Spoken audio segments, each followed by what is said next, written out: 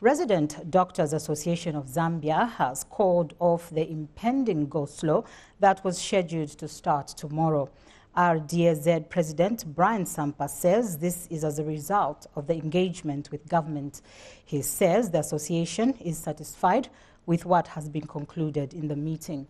Dr. Sampa has since urged all health workers to go for work tomorrow and provide quality health care.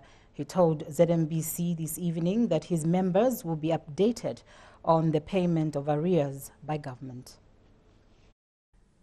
Uh, following the engagements which we've had with the government, as of today, they have pledged that uh, starting this week, the government has committed to start the payments of the, the doctors, those who've been owed from 2015 up to date, they have pledged to start dismantling the setting in allowances, the um, gratuities, and also the salary arrears.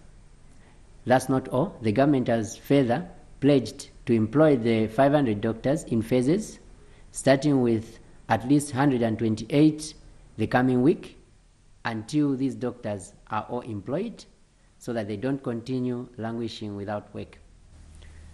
On top of that, the government has also worked through, uh, through negotiations with RDAZ and the other stakeholders, come up with a plan on how they intend to create more positions for registrars, uh, SRMOs, and also JRMOs, so that all these doctors who keep on working on administrative positions can no longer do so but have to work on substantive positions. It is at the backdrop of this and the other engagements we are yet to have that I wish to inform the nation that the impending go slow has been cancelled and I therefore urge all our members countrywide to go for work starting Monday. Government says it remains committed to dismantling arrears owed to health workers in a phased manner.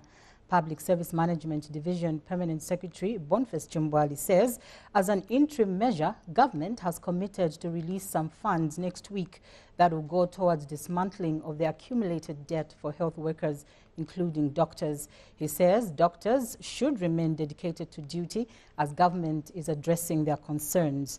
Mr. Chimbwali says government is aware of the hard work that doctors put in when serving lives and will ensure that the plight of the health workers is continuously improved. He, however, warned that doctors who will go against the resolution that will that will go against the, the resolution will individually be held responsible for their actions. He said this during a press briefing in Lusaka today, attended by Ministry of Information and Broadcasting Services Permanent Secretary Amos Malupenga and Labour Commissioner Givens Mutengo.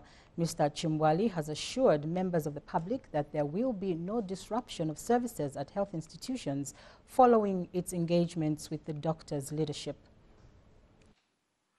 In fact, as we were doing the fast track recruitment, we had to begin to work backwards. We recruited the nurses and doctors uh, outside the procedures so, so that no life is lost. Ultimately, we have ensured all the nurses and doctors whom we recruited are now on payroll without late. And every civil servant gets their salary timelessly. Do we, do we owe uh, staff? Yes, we do. Are we doing something about this? Yes, we are.